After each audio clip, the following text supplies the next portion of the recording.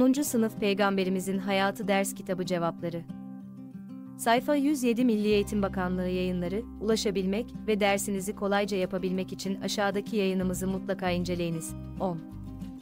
Sınıf Peygamberimizin Hayatı Ders Kitabı Cevapları Milli Eğitim Bakanlığı yayınları sayfa 107 Peygamber Efendimiz, adaletin tecellisi hususunda titiz davranarak Müslümanları kendilerinden önceki ümmetlerin düştükleri hatalardan sakındırmak istemiştir. Allah, size mutlaka emanetleri ehli olanlara vermenizi ve insanlar arasında hükmettiğiniz zaman adaletle hükmetmenizi emreder. 17 ayeti emanetin ehline verilmesiyle adil olmayı bir arada zikrederek adaletin kapsamının ne kadar geniş olduğunu gözler önüne sermektedir.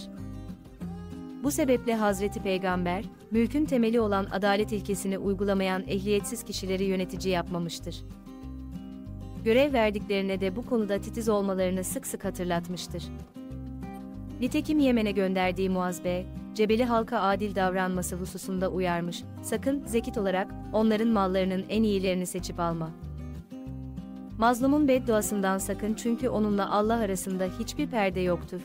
18 sözleriyle adaletsizliğin zulüm olduğunu hatırlatmıştır. Resulullah, saf, adaletin uygulanmasında hukukun üstünlüğü prensibine riayet etmiş, dost düşman, zengin fakir, müslim gayrimüslim arasında ayrım yapmamıştır. Öyle ki o, Taif seferinde kendilerine yardım ettiği için minnet borçlu oldukları bir kabile reisi hakkında hüküm vermesi gerektiğinde deliller ışığında onun aleyhine karar vermekten çekinmemiştir. 19 Resul-i Ekrem en ufak meselelerde bile hak ihlalini zalimlik olarak niteleyerek, zulümden sakının. Çünkü zulüm ahiretinizi karartır, 20 uyarısını yapmıştır. Kişi sadece kendine ve ailesine değil, topluma karşı da hak ve sorumluluk sahibidir. Bu sorumlulukların yerine getirilmesinde de adil olmak gerekir.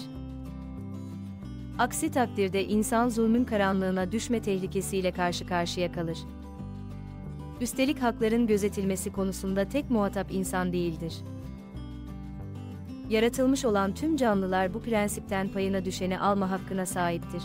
Sıra senin sosyal hayatta düzenin sağlanması ile adalet arasındaki ilişkiyi anlatan bir kompozisyon yazınız. Cevap Adaletin ışığında sosyal düzen toplumların huzur ve refah içinde yaşaması, bireyler arasındaki ilişkilerin düzenli ve adil bir şekilde yürütülmesine bağlıdır. Bu bağlamda, adalet ve sosyal düzen arasındaki ilişki, toplumun sağlıklı işleyişinin temelini oluşturur.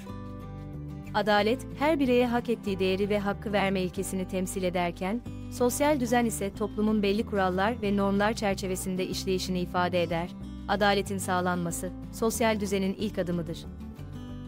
Bireyler arasında eşitlik ve haklarının korunması, toplumda bir düzenin oluşmasını ve sürdürülmesini sağlar. Adil bir sistemde bireyler, haklarını ve sorumluluklarını bilirler ve bu da sosyal düzene katkı sağlar.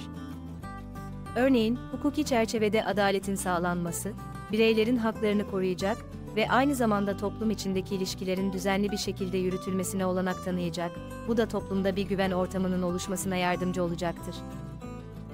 Tersine, adaletsizlik toplumda düzensizliği ve huzursuzluğu beraberinde getirir. Adaletsiz bir ortamda bireyler, haklarının korunmadığını ve değerlerinin göz ardı edildiğini hissederler. Bu durum, toplumda kargaşa, güvensizlik ve düşmanca ilişkilerin oluşmasına neden olabilir. Bu nedenle, adaletin sağlanması ve sürdürülmesi, sosyal düzenin temel taşlarından biridir. Sosyal düzen ve adalet, birbirini tamamlayan iki önemli kavramdır. Adalet, toplum içindeki bireyler arasındaki ilişkilerin düzenli ve sağlıklı bir şekilde yürütülmesini sağlar. Diğer yandan sosyal düzen, adaletin sürdürülmesi ve toplumun refah ve huzur içinde yaşaması için zemin hazırlar. Bu nedenle, adalet ve sosyal düzen arasındaki bu sıkı ilişki, toplumların sağlıklı ve huzurlu bir şekilde gelişimini sağlar. 10. Sınıf Milli Eğitim Bakanlığı yayınları Peygamberimizin Hayatı ders kitabı sayfa 107 ile ilgili aşağıda bulunan emojileri kullanarak duygularınızı belirtebilir aynı zamanda sosyal medyada paylaşarak bizlere katkıda bulunabilirsiniz.